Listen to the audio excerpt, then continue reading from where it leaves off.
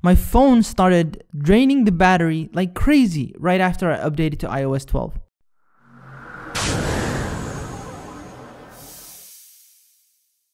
I should have uploaded that video, but I didn't. I didn't think a lot of people were having the same issue that I was having. Right after I seen the video that Lou has uploaded regarding ChargeGate, if you guys haven't watched that already, I'll link it down below. But as soon as I watched that video, I was like, wait a minute, maybe I'm not the only one with my problem.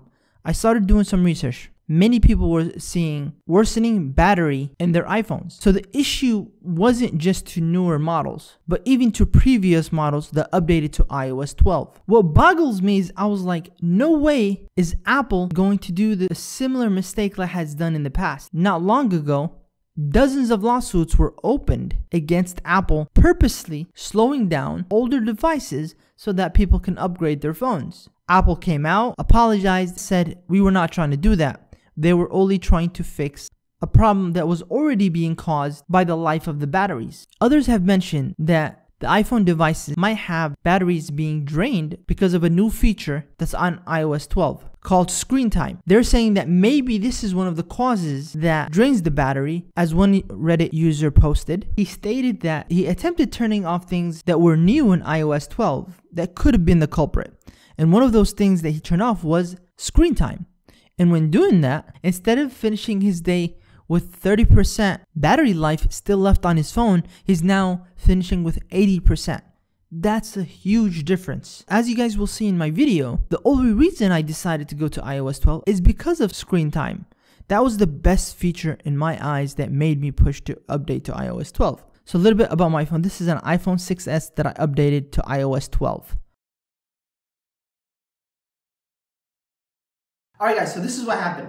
iOS 12 just got released a couple days ago. I went ahead and I updated it. And now I regret it. Let me tell you guys why. I'm gonna go ahead and show you my screen. You'll see it right here. Now it's at 4% and it's 930. See, it's still 930 and it's already at 3%. It's still 930 and it's already at 2%. Now 931 and it's already at 1%. I would not be surprised if the phone dies. Do not update to iOS 12. Now don't get me wrong, I do like some features that were updated on the iOS 12. For example, now, instead of having many notifications on your screen, they'll combine it all to one spot. So if you have a lot of messages from one person that you don't want to see filling up your screen, you'll have just one part of it, as you can see right here. Another cool thing is that actually shows you how much time you've used on the phone. If you've been using a lot on YouTube, if you've been using a lot on Facebook, etc., it'll tell you how much you've been using. That way you can cut off time wasted into more useful things. All right, there you guys have it. I mean, at the end of the day, my conclusion is that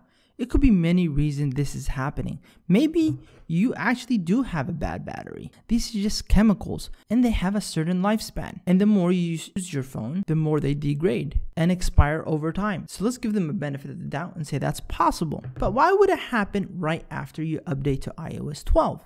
Now, some people could say, well, when you update to iOS 12, there's a lot of reorganizations of the files inside the iPhone. And it might take some time for them to completely reorganize and this will affect the usage of your battery, how fast your phone battery drains for the first couple of days. Another thing could be that when you have a new update, most likely a lot of apps will update as well and probably you have automatic updates enabled on your phone. This could be one of the reasons your phone is being drained. And last but not least, maybe with the new update, you're starting to use more features that were provided with that update. And without you realizing it, in turn for you using that phone more perhaps, you're now draining your battery life faster than you would have prior to updating. At the end of the day, why is this happening only when Apple comes out with a new set of Apple devices? Is it possible that they really want to make you upgrade to the new devices? Could possibly be.